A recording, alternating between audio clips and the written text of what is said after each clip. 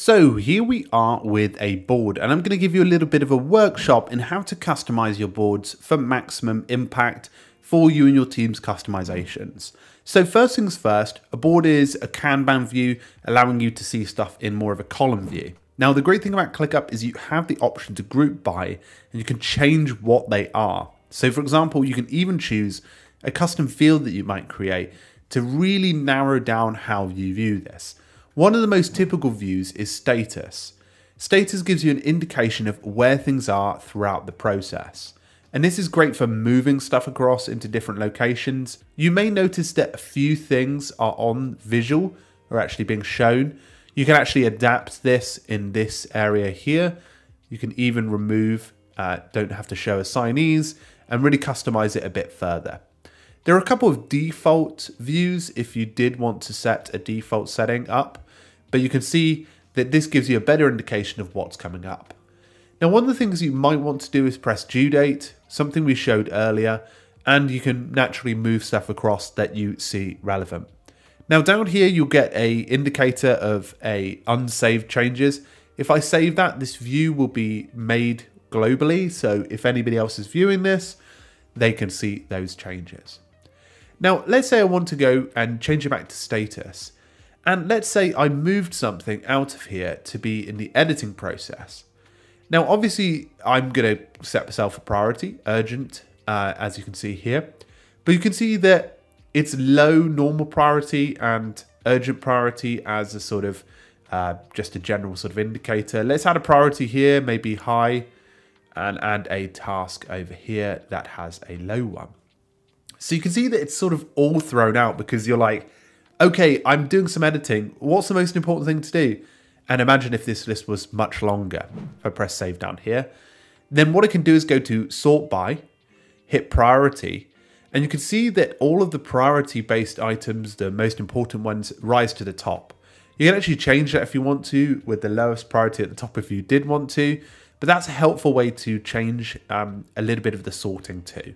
Now, one of the things that you might want to do is actually use the filter ability. Now, let's say you're spanning across all of these areas of work, filming, editing, review. Well, one of the things you could do is uh, choose the due date to be within the next seven days. And as you can see, majority of the tasks drop off. This might be a better indication of seeing, okay, what's important to me right now and what needs to be worked on due to the due date. Now you can add tons more filters, even creating groups, and even when these, like even the details like milestones, sprint points, etc. can be added here. So a whole host of abilities when it comes to modifying details. And one of the things you can do is actually have subtasks created. So if I, for example, added a task, a demo task down here, one of the things you can actually have is your subtask showing. So you can see expand all and you'll be able to see this pop out. So you can see that task now pops out and it's, you can add all of the relevant items to it. So for example, adding a bit more detail as well. So you can really go into details with subtasks. You can actually have them as separate tasks, living slightly outside of the realm, if that makes sense. And you can even collapse them like we had that before. Now, if I go up here, you can obviously modify the board views that you have, but you can actually go and share them here.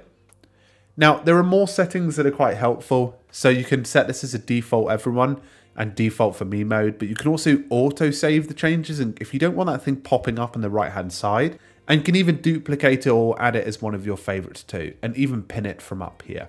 Now, one of the useful things is I can um, organize this one as a production lab.